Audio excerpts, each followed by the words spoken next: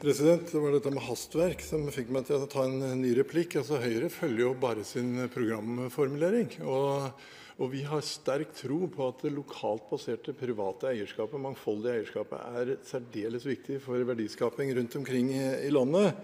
Og, og at formuesskatten sånn sett er en ren diskriminering og en særskatt av det eierskapet til fordel for utenlandsk og statlig eierskap.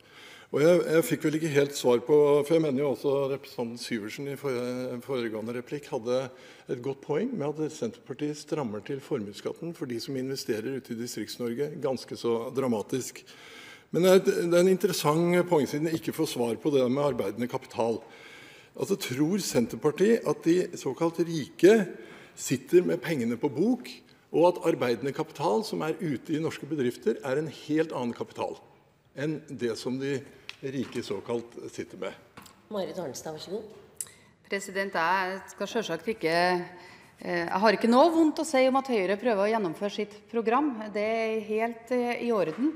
Men jeg sier jo at jeg tror Høyre strategisk har litt hastverk. Det gjelder å få gjennomført dette så raskt som mulig nå, både før du får en bred skattedebatt gjennom Scheel-utvalget, og også fordi før du begynner å nærme deg neste valg. Så jeg tror det er noen strategiske vurderinger som Høyre har gjort. Det er fair enough.